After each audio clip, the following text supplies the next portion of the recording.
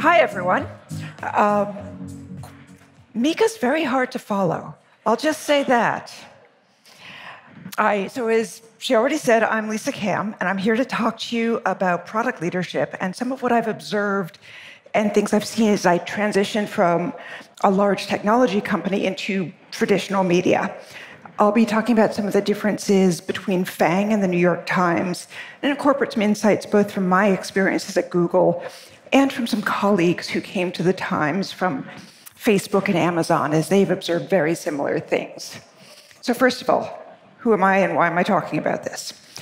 Um, I spent time, I started in tech at several tech startups, none of which still exist and none of which you've ever heard of. So, the logo didn't, those logos did not make the screen.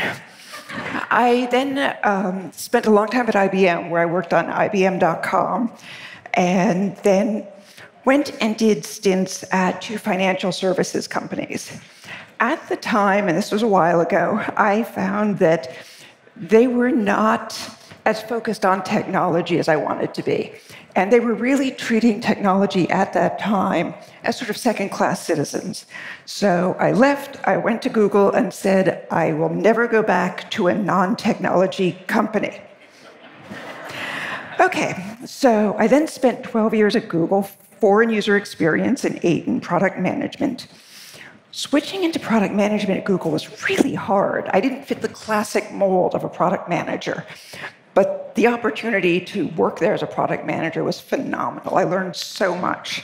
And, and my understanding of what works, what doesn't, was just really strong after that. A little over three years ago, I was recruited to the New York Times, and it was a really exciting opportunity.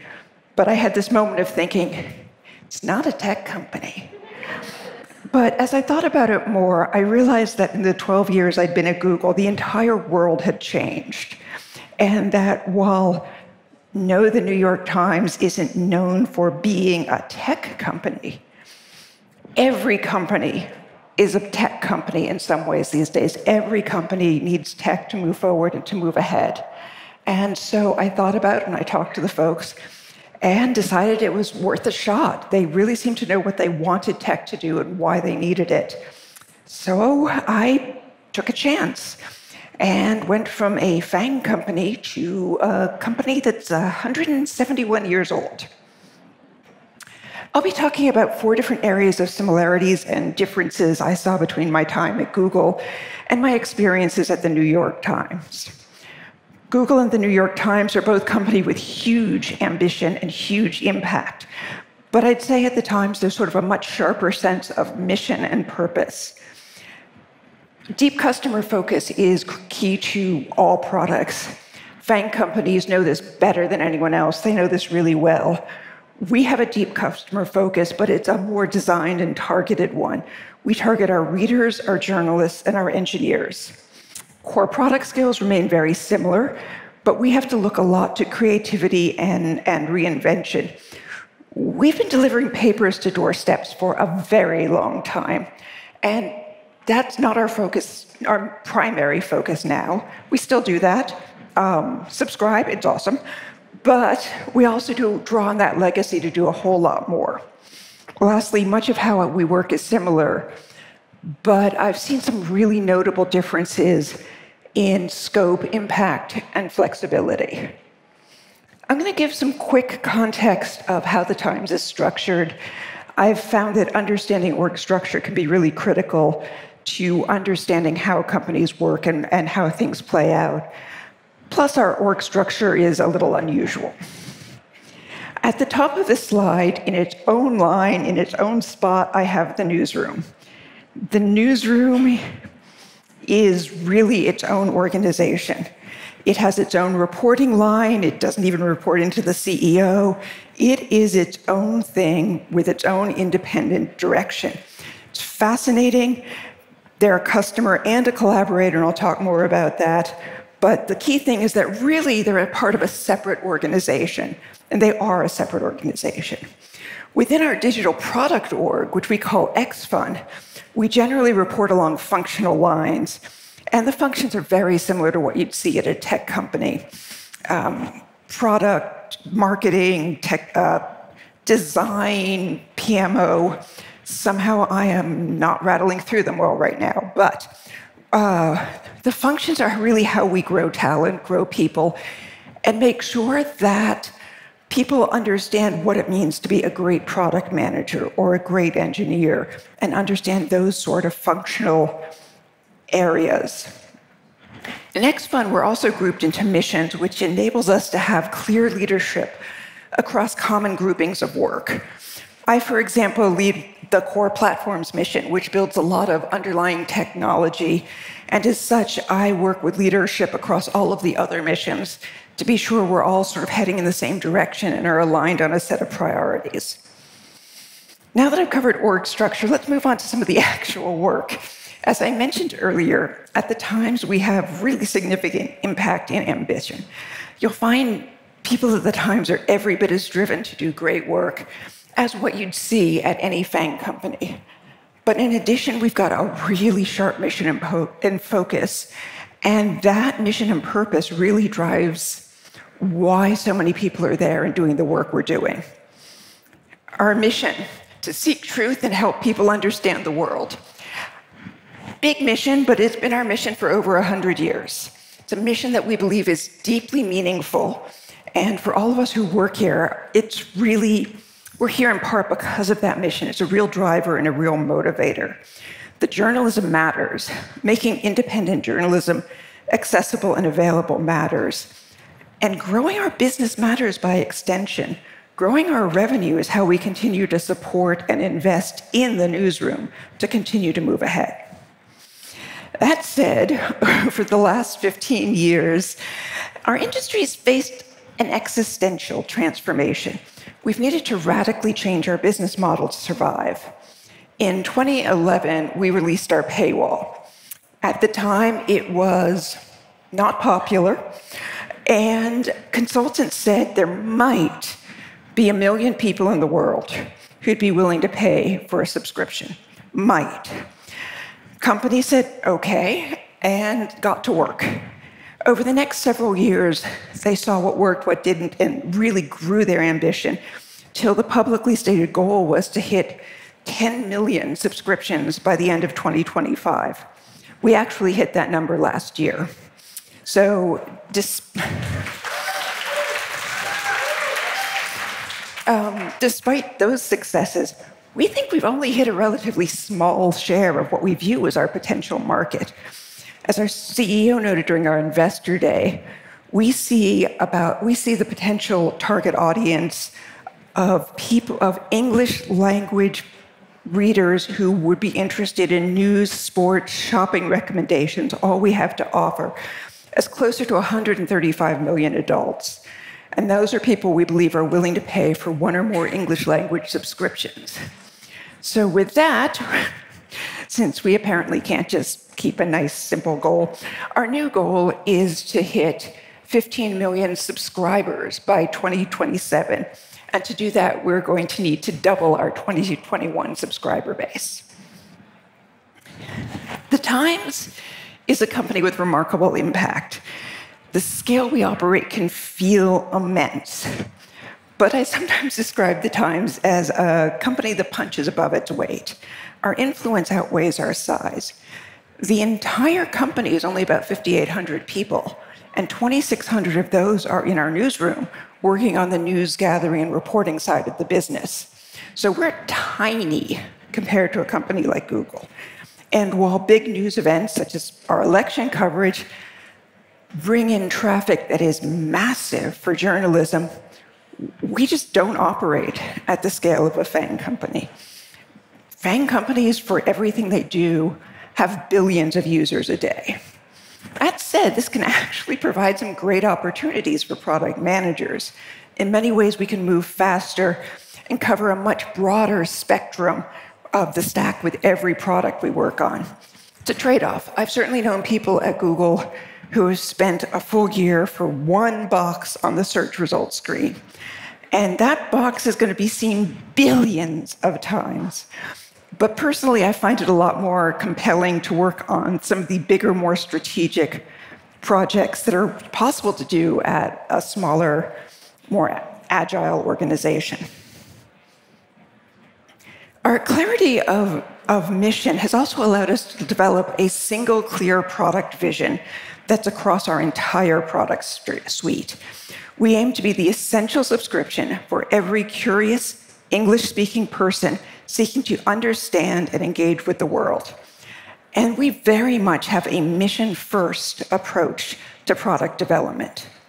Google started as a technology driven company, and that approach has led to incredible advances. But as a product manager, it could be frustrating at times. I'd have an engineer come up to me with something really, really cool they'd developed and say, You're the product manager. I need a use for this. Sometimes there was a use, sometimes there wasn't. There's no question that giving the engineers the freedom to explore and create new technology is amazing, and one of the ways Google has been so successful. The engineers who engage in deep research change the world, but they don't necessarily know the next step and how to maximize the impact and how to drive that forward. And it creates some odd tensions at times. I've heard similar stories from friends and colleagues at Amazon and Meta. As a much smaller company, our, our entire product development org is small compared to a FANG. We need to be much more strategic in what we work on. That's where having a clear sense of mission and vision becomes so critical. So, at the times, we have developed a clear product vision so we know where we need to be. Having such a clear vision also enables us to break our work down into core strategic goals we are pursuing. Once again, critical to providing a sense of direction and providing more clarity around what work to prioritize. We want to be the best news destination in the world. That's first and foremost. The ability to create and deliver impactful, independent journalism is the cornerstone of everything we do. We're also looking to become a more important part of people's everyday lives. Sometimes people are looking for timely news or investigative reporting. Other days, they may want to play Wordle or get shopping recommendations or catch up on what their favorite sports team is doing. These are all different sorts of needs we can, we can help. There is so much we do across different parts of daily, uh, daily life, but the but people aren't always aware of that. So we've really shifted to having a major focus be on our bundle and how to connect people across all of the different products we own. We really see an incredible synergy between that core news and the lifestyle products that support a series of everyday needs. To, to, deliver on that, we're really working, and one of the key product focuses we have these days is driving the connections between the areas news should help people find other content. And uh, the other apps should point people back to the news if it's appropriate and contextual and it makes sense. We know, we also just know from all of our research that people who engage with more than one of our products have better overall engagement rates and better retention rates. So we really want to be sure people are engaging across a wide swath so they understand the value they're getting. Next, I'm going to move on to customer focus. Customer focus is critical. While, while our TAM is much, much smaller than that of a FANG company, customer focus remains important no matter what the company or the TAM size is. I mean, customer focus is the core of product management. FANG companies are amazing in having a strong commitment to it.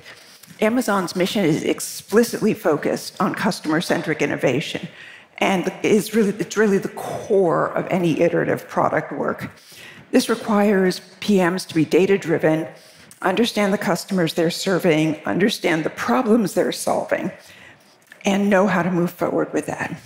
We do a lot of research and develop much of our product roadmaps and direction based on what we find from that research and what we understand about how people use our products.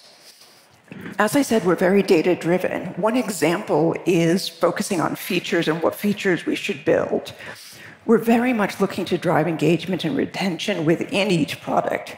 I've already spoken about our desire to drive engagement and connection across the products, but we want each product to have its own sort of sticky and strong nature. Um, so we've done really deep research. This shows features that are better for engagement or retention and gives a sense of how we will do some prioritization around where we're going. In the last slide, I talked about our customer focus and the data driven nature of our work. The external facing parts of our work are, are, the most familiar to people, but we have some really important internal customers who also require significant focus. My organization develops platforms which enables others at the Times to deliver content and features that will reach our readers. But I need to think about multiple sets of customers simultaneously. The readers are the obvious ones readers, gamers, everyone who comes to and uses all the things on our site. But next we have the newsroom. The newsroom is both a collaborator but also an absolute first class customer of ours.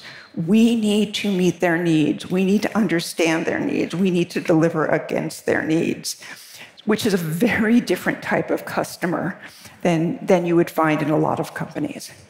And lastly, the engineers. We have to be sure our engineers can deliver, develop and deliver and really be able to do some of the best, most impactful work of their lives it's really hard because we're a smaller organization. So our platforms need to be really empowering.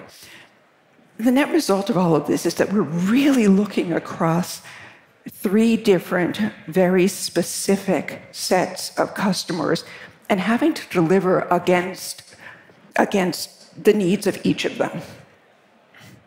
Core product skills. The core product skills we focus on at the Times will feel very, very familiar to people in technology companies. There are very few things about our product job ladder that would be a surprise. Strategy, leadership, execution, these are always critical. Cross functional collaboration is another area we focus on, both across product and technology teams, but we also have to collaborate with the newsroom and ensure our work is supporting theirs. The other major set of skills we lean really heavily into are creativity and reinvention. Many tech companies talk about disrupting an industry, but we are the industry we're disrupting. We've always been looking at how to reinvent what it is that we do in order to drive forward the same mission we've had for such a long time. When the New York Times was solely a physical paper delivered to doorsteps, live coverage wasn't something you could have even conceived of. We now regularly run live coverage on our site, enabling people to get deep insights from our highly knowledgeable journalists as events are unfolding. Likewise, we've just launched an audio app which enables a new method for people to access valuable content we create in different ways and provides our subscribers the ability to, to listen to content and interact with our content in situations such as driving where reading just isn't possible. Product people need to be able to look at what we have and develop ways to more deeply engage our readers and empower our journalists while iterating and reinventing the content and the, against the mission we've had for such a long time. Next up, how we work. At the team level, we bring together a collection of different skills to deliver on specific initiatives. The exact composition of the teams varies depending on the goals of the project, but at the core, we're working cross functionally to deliver against our priorities. This is a very familiar model. Working in cross functional teams is very familiar. This is how we generally worked at, at Google. I do find there are several significant differences in how we work to how large technology company works. Some of them are the result of differences in size of the organization. We are just much smaller. Others are more closely tied to the unique nature of our business. At the beginning of this presentation, I talked about the reach of the New York Times and how we deliver with a team a fraction the size of, of, of FANG Company. No one would ever say we have the scale of a Google. We do have impact. We drive a lot of impact, but it's often in getting information out in the legislation that may come as a result of our investigative journalism as the next step. So, impact is a different beast in some ways. Scale also turns out to be a mixed blessing, and scale doesn't fully align with scope and impact. Google's small pieces of work in very complex environments take so long, but billions of people see the outcome. A colleague of mine who came to the Times from Amazon observed the same thing. At the Times, you get the opportunity to have increased breadth in your work, but you need to take a bigger swing to deliver on it. He described the environment at Amazon as one where there weren't so many greenfield spaces and there weren't so many spaces where you could really move ahead without stepping on other toes. As a smaller organization deeply focused on our transformation, people have had have the opportunity to lead much broader initiatives and have more impact against the whole of our products. And that impact is phenomenal. It just isn't billions of views. Flexibility is also really key. News cycles are not always predictable. My first week at the New York Times was the week before we all went remote for COVID. That was certainly a situation in which every roadmap, every plan, every direction, every everything was tossed out the window in order to allow us to focus on the public service functions of the Times which meant sharing everything we could about health and safety outside of the, the paywall so it would be available to anyone who needed it. We also have found situations that are more amusing, where we have a plan to launch something. We hear a rumor that there's going to be a big breaking news story. We postpone the launch a couple of days. The news story doesn't happen. Okay, well, whatever. Then we launch, and then every the news story breaks, and suddenly we've got massive traffic, and it's like, oh, this was not what we wanted for launch day. The most recent time that happened was just a couple weeks ago, and everything was awesome and it went well, but there's still that moment of, we just rearranged everything to avoid this. So, flexibility is key when you're in an organization where you just don't control the timelines. Another difference I see is that many of our product managers work in areas that just aren't as much a part of the product of the FANG companies. At the times we create and we distribute much of our own content. So product managers can work incredibly closely with the journalism who are developing that content and help them with creating the content types. They also work on our publishing tools, product managers, which cover everything from underlying systems and infrastructures through new features through the content itself. On the platform side, we need to be delivering work to support our growth and business models. At the same time, we're working to modernize parts of the technology step of our technology stack that have been put to uses that were never conceived of when they were built. It really gives product a much more end-to-end role in the work and in shaping the formats and platforms we use.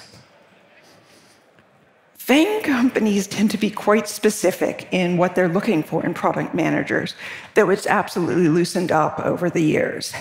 When I transferred into product at Google, there were a lot of hoops to jump through.